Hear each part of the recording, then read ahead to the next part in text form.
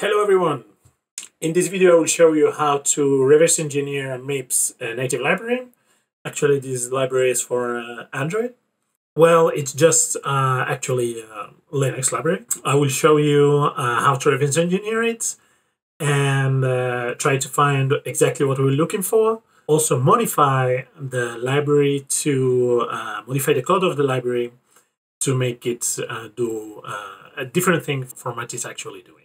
So let's get into it. Okay, so first things first, we need to have a MIPS toolchain to be able to uh, reverse engineer the MIPS library. So we need to download the MIPS uh, toolchain for this. So I have already downloaded it here, and I'm switching to the directory. And then I'm using uh, object dump to convert the, the native library. As you can see there, it's lib iface.so uh, I will convert it to its uh, assembly code. So the minus D switch will do that. Okay, so now it has finished uh, generating the assembly code. So let's uh, check it out.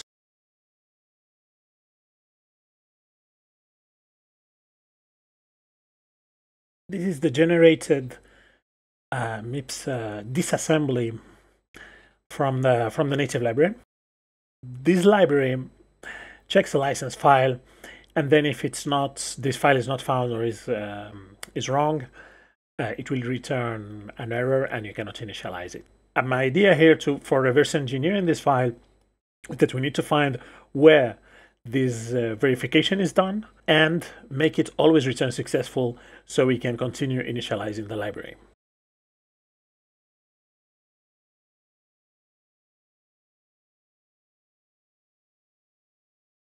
Let's search, for example, for verify. Let's see what strings we can find with this word.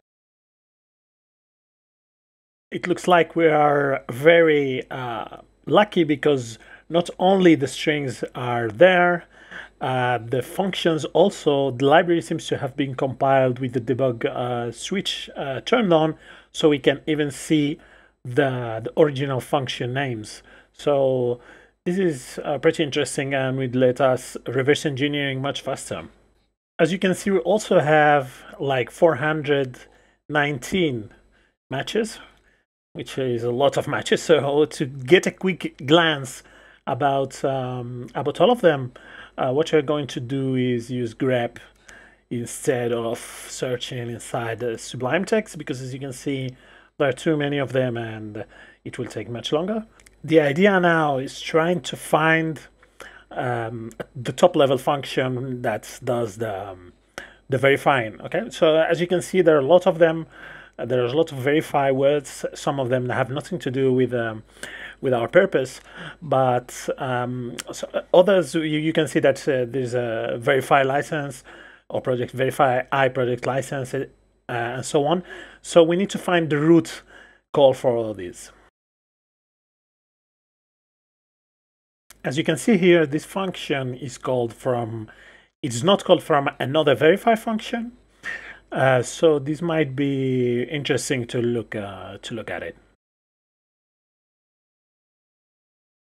This other iLicense verify function also looks interesting, but as you can see, in the end, it also calls the, the other function zn8 iLicense 6 verify and and this function um, does not call any other verify function. So um, let's assume, okay, let's just focus on on this uh, ZN8 uh, I license 6 verify. We check its address, we copy the address and we check it on the assembly file to see the full function.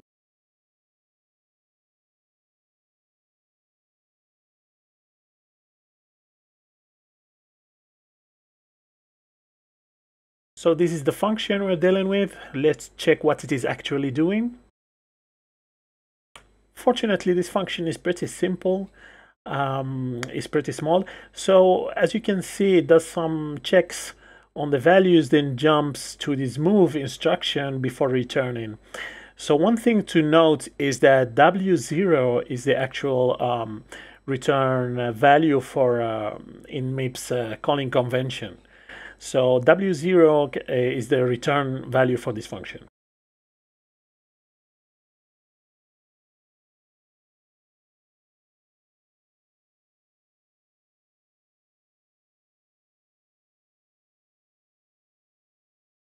As you can see, sometimes it sets it to 1 and sometimes it sets it to 0. It defaults starting with 0 as you can see in the second instruction. Uh, but um, I will, uh, my guts tell me that 1 is, is going to be true, that the, the check succeeded, and 0 is going to be false, that the check didn't succeed. So taking this into account, what we are going to do is modify this function now to make it always return uh, a 1. However, we cannot just uh, leave uh, a return 1 as a as uh, as code because the elf uh, the elf file the so file which is the elf executable format has uh, takes into account the size for relocation and stuff like that and the offsets we cannot modify the offsets of the rest of the functions or this function so what we're going to do is uh, use the no operation instruction to actually do nothing for most of the function except returning a value of 1, which we actually already have this, um, this instruction already is coded, so we don't even need to add it. So let's check this uh, no operation instruction and what is machine code is. Okay, here we have it.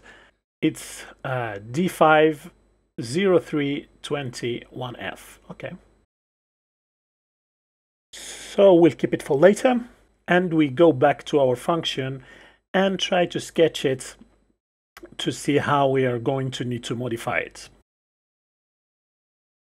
Of course, uh, not that here I'm modifying the assembly file that was generated uh, by object dump. Uh, of course, here we are not modifying the actual SO file.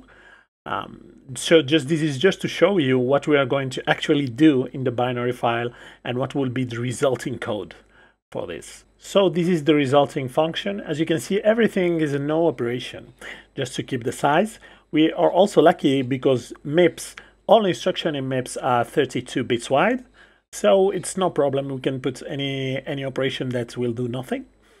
Uh, actually, no operation is not really an instruction. It's just like ORs it's an or if, if I remember correctly but uh, doesn't matter anyway so uh, what we are going to do here is that we as you can see the function will do absolutely nothing except move um, 1 to the W1 register then move the W1 register to W0 register which like I said before is the um, is the return uh, register for, for in the MIPS convention calling convention and then return from the function uh, from the function with a success, which we assume is one.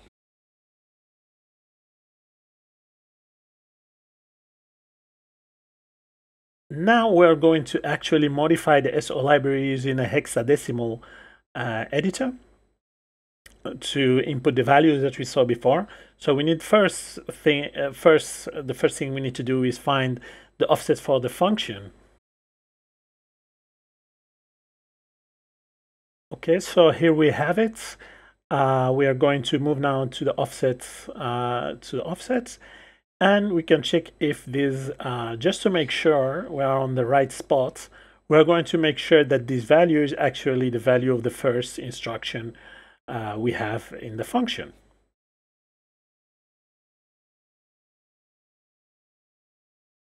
Okay, so it is it is actually the, the right value, but it is it is expressed in uh, big endian encoding. So that also means that what uh, the the value we are going to substitute it for need also to be expressed in big endian.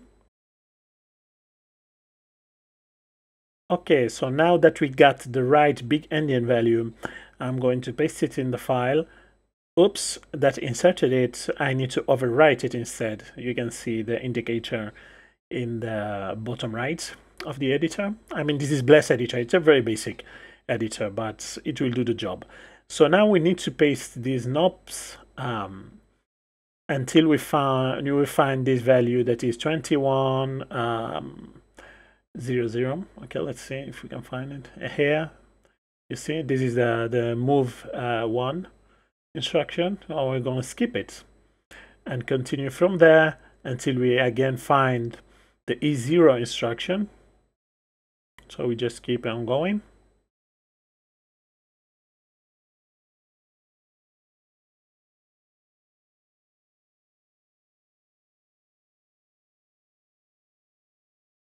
So this is the easier instruction. As you can see, both uh, two final instructions do not need to be to, to be modified.